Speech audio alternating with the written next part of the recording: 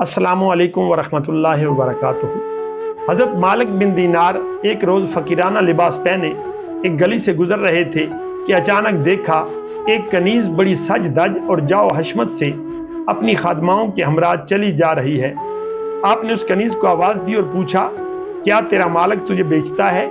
वो तमस्खराना लहजे में हँसी और कहने लगी, अगर वो बेच भी दे तो तुझ जैसा मुफलिस फ़कीर कैसे खरीदेगा? हज़रत मालक बिन दीनार ने फरमाया, बेहतर तरीके से खरीद सकता हूँ। वो हंस पड़ी और दिल लगी करते हुए एक खादमा से कहा, इसे भी बादशाह के पास ले चलो। वो दरअसल बादशाह वक्त की खास लौंडी थी। सारा माजरा बादशाह के गोश गुजार किया। बादशाह ने कहा, फकीर को मेरे सामने पेश करो। हज़रत मालक बिन दीनार को बादशाह के सामने पेश कर दिया गया। बादशाह ने पूछा, ए फकीर, अगर मैं बेचने का इरादा कर लूँ तो इसकी क्या कीमत दे सकते हो? हज़रत मालक बिन दिनार फरमाने लगे, यही खजूर की सड़ी हुई गुठली ही तो इसकी कीमत है, मैं तो इससे कहीं आला कनीजें खरीद सकता हूँ। बादशाह हंस पड़ा, दिल लगी करते हुए कहने लगा, इतनी कम कीमत लगाने की वजह पूछ सकता हूँ? आपने फरमाया, क्यों नहीं? इस सौदे में तो ऐब ही ऐब है। बादशाह ने कहा, वो क्या ऐब है?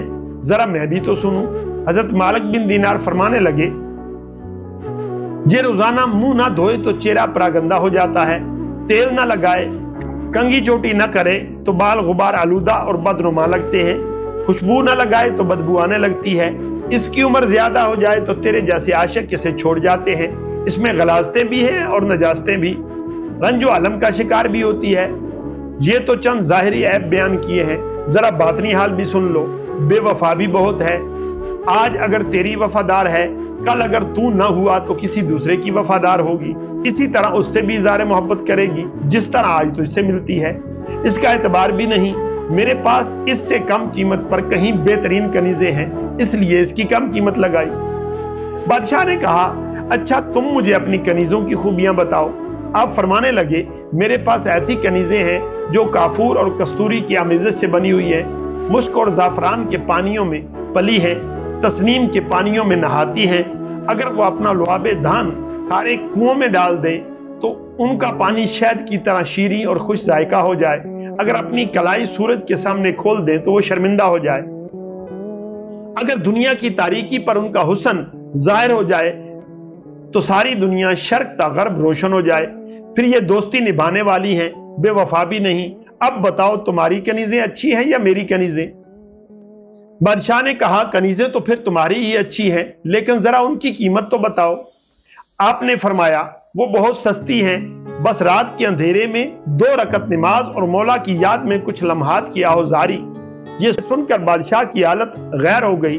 अपना शाहाना लिबास फाड़ डाला और हज़रत मालक बिन दीनार रज़ी अल्लाह के गले लगकर रोने लगे। कहने लगा, ए फकीर, मेरी बख्शिश की कोई सबील है? आपने फरमाया जिस मुगालते और घुमंड में गिरफ़्तार है, इससे बाहर निकला। उसने तमाम गुलाम और कनीजें आज़ाद कर दी, जायदाद अल्लाह की राह में तकसीम कर दी, तख्त छोड़ा, टाट का लिबास पहन दिया। कनीज ने जब यह देखा तो कहने लगी, अगर अमीरी में तेरी साथी थी तो अब गरीबी में भी तेरी साथी बनती हूँ। बादशाह आरफ कामिल हुआ और कनीज भी आरफा कामला हुई। अपनी बाकी ज़िंदगी अल्लाह ताला की याद, आहो बुका और गिरिया उजारी में बसर की। उनके कामल रजू ने उन्हें वो मकाम अता फरमाया, जिसका रजू से पहले की ज़िंदगी के हवाले से तस्वर भी नहीं किया जा सकता। अल्लाह ताला की ज़ात हमें अमल की तोफ़ी अता करे। आज की वीडियो में इतना ही। आइंदा वीडियो तक के लिए अल्लाह हाफिज़।